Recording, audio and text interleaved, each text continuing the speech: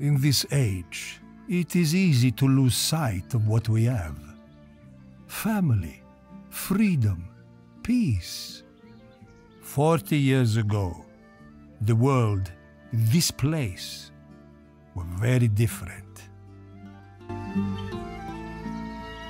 Not a day passes when I do not think of that time, when I'm not thankful that I am still here. Thankful for them. Why did we fight? We fought so they would not have to. So they would never have to live through the horrors we faced.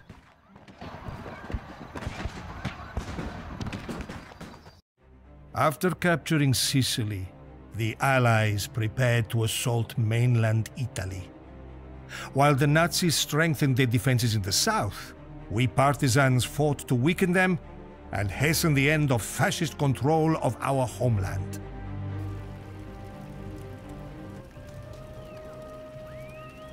The town of Pazzano was under attack. We fought to hold the Nazis back and to buy time for my partisan comrades to capture one of their artillery pieces. I needed a rifle.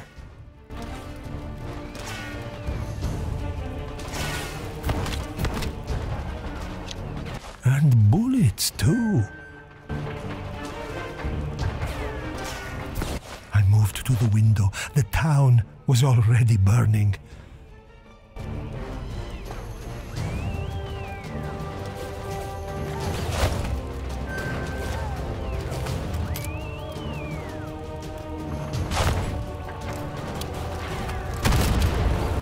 Took a few moments to test the weapon and my aim.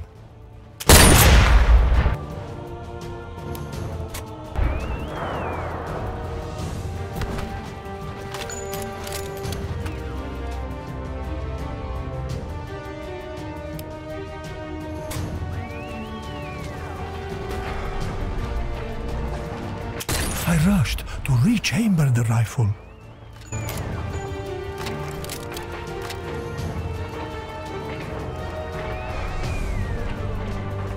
Before leaving, I used the radio to send my position to my comrades.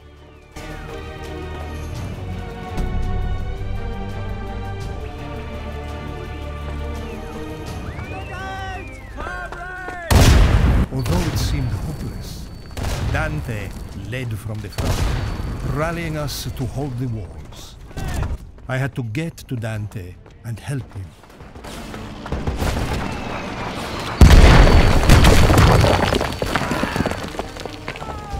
Before I could reach him, Dante was gone.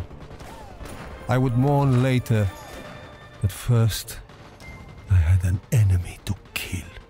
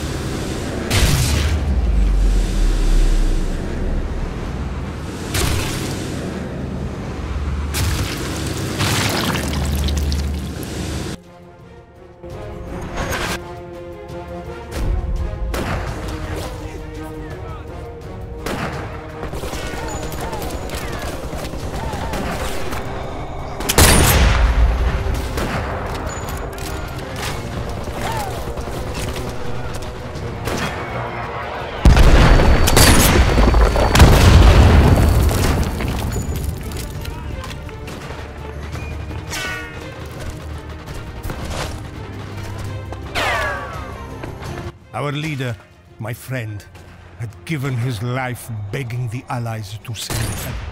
We didn't know if it was coming, but for his sake, we hoped and we fought on.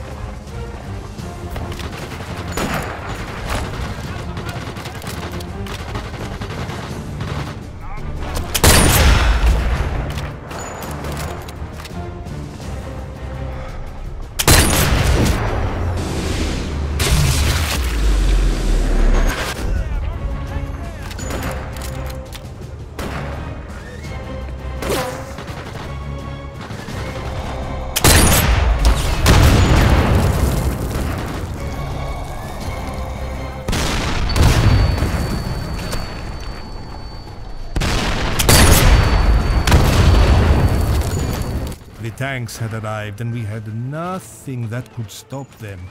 Our comrades had to capture that artillery gun.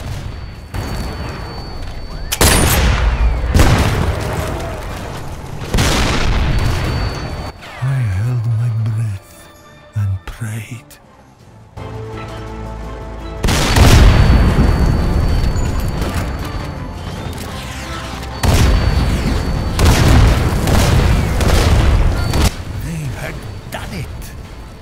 Captured artillery destroyed the tank and bought us another chance.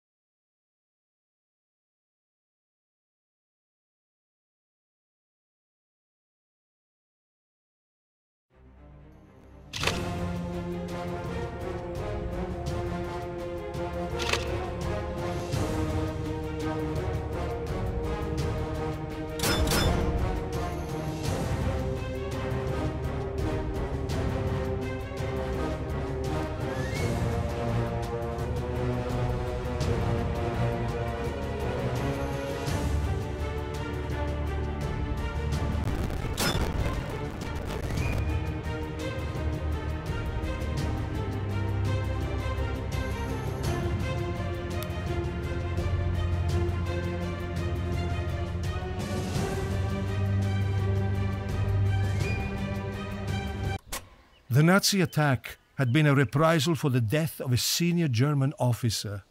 The kill ordered by Dante, the fatal bullet fired by me.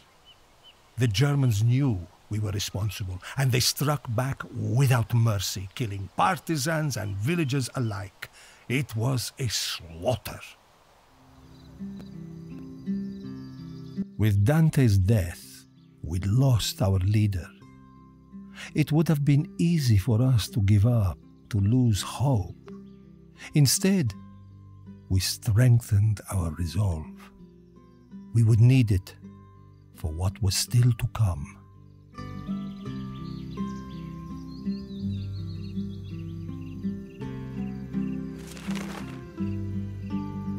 This place has so many memories.